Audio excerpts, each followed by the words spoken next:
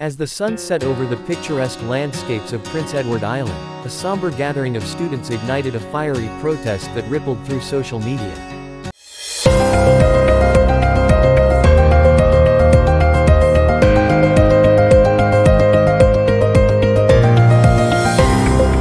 What led these hopeful young minds, who traveled thousands of miles for a chance at the Canadian dream, to take to the streets?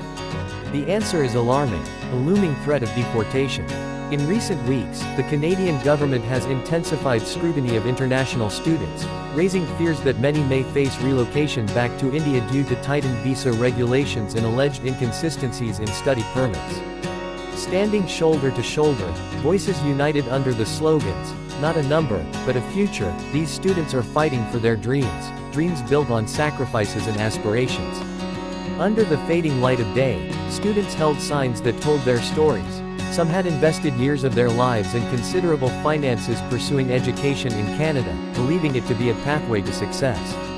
However, recent immigration updates led to confusion and despair, as many realized their status was hanging by a thread. Each chant echoed a poignant message of fear and hope, reminding onlookers that these numbers represent lives, ambitions yet to be fulfilled. The protest in PEI resembles a microcosm of a larger issue gripping the nation, one that challenges the very core of Canada's identity as a welcoming haven for international students. As tensions rise, will the government heed their pleas, or will dreams be dashed? Join me as we dive into this unfolding drama, exploring the plight of these students and the future of international education in Canada. Don't forget to subscribe for the latest updates and deeper dives into stories that matter.